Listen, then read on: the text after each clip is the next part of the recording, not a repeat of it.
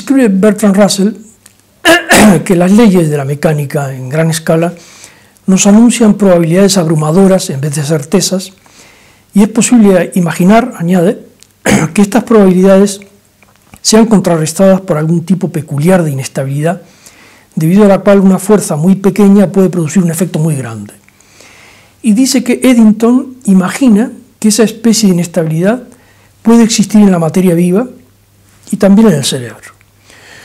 Un acto volitivo puede conducir a un átomo a esta elección o a aquella otra, lo cual puede alterar algún equilibrio existente pero inestable y producir un resultado en gran escala, por ejemplo, decir una cosa en vez de otra.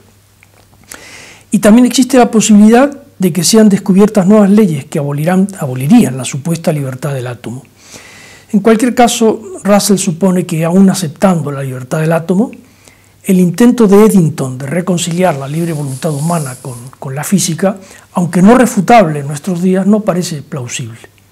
Añade que tanto la psicología como la fisiología tienden a ser improbable la voluntad libre y hay motivos para pensarlo así.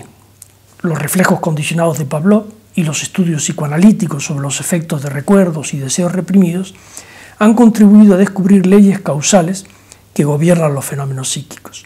Y aunque estos descubrimientos no descartan la posibilidad de la voluntad libre, hacen muy probable que las aboliciones incausadas, si las hay, deben ser muy raras. Porque si bien en el caso de las acciones que son racionales es fácil dar con sus causas, oigo el consejo del médico y adopto una decisión, ¿no?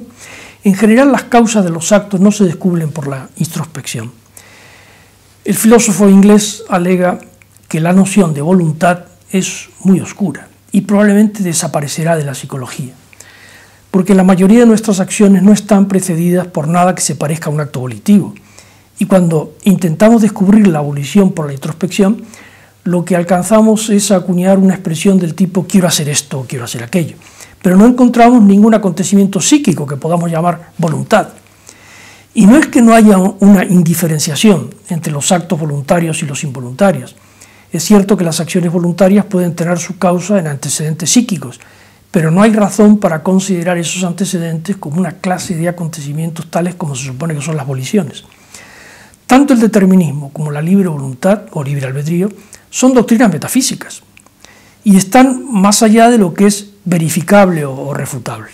El científico inglés tiene que partir de la hipótesis determinista porque su trabajo es la investigación de la causalidad, pero no está obligado a afirmar que esas leyes causales existan, sino solo si las encuentra. Y no puede decir que conoce una región donde las leyes causales no operan, afirmación imprudente, tanto en el orden teórico como práctico. Ante el dogmatismo del determinismo y el dogmatismo de la voluntad libre, la ciencia debe circunscribir sus enunciados a lo que es empíricamente comprobable. El determinismo es una hipótesis que nos agrada porque la expectativa de encontrar leyes causales aumentará nuestro poder. Pero la necesidad ciega, determinista, en la vida humana hace sentir a muchos que se les roba la personalidad, se sienten insignificantes, esclavos de las circunstancias, incapaces de cambiar algo en lo que la naturaleza les ha asignado desde el principio de sus días.